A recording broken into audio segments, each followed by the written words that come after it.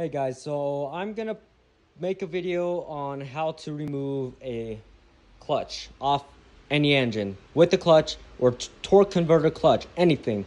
This is the easiest way just remove a clutch, anything.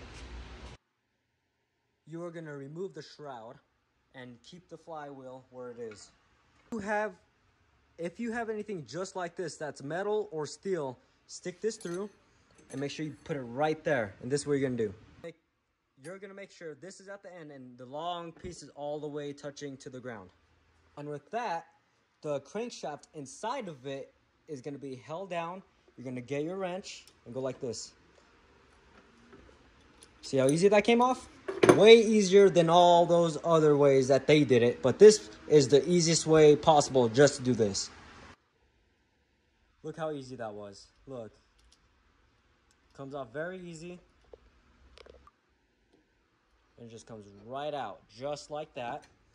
And you can remove this too. If you're doing an engine swap or whatever you're doing, do the same exact thing because you're gonna have to tighten it and all that other stuff. So that is the simplest, easiest way to do this. The best way possible out of all the other videos, this is probably gonna be number one. The easiest step just to remove a clutch. You are welcome and don't subscribe, but just comment because I don't care, uh, really care about subscribers. I just really care about helping out people. So just comment and say if this helped out.